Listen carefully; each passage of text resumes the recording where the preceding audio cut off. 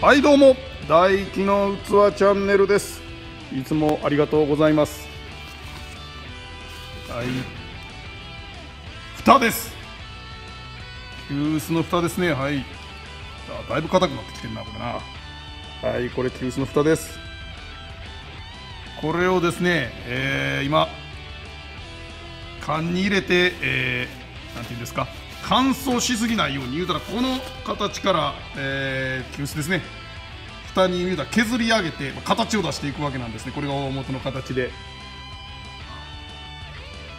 ちょっと物は違いますけども。まあ言うたらこういう大きさ違いますけどもこういうさっきのやつをこういう形に仕上げていくんですね。はい。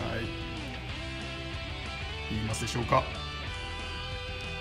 まあ、それを言ったら、えー、カンナで削りますんで硬くなりすぎるとダメなわけです。だからこういうふうな、えー、缶に入れてですね、えー、言うたら水分を保ったままちょっと保管をすると。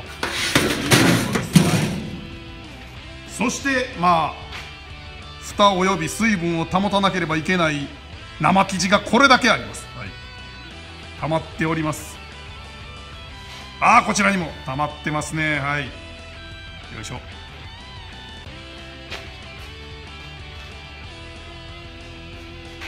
明日ね週末ですけどもまああの明日からまた週明けにかけてねこう仕上げてねいこうかなというふうに思います。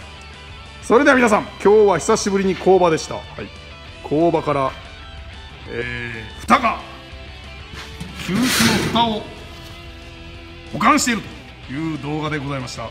それでは皆さん土ですね粘土です。はい生土です。えー、蓋をいながらさようなら。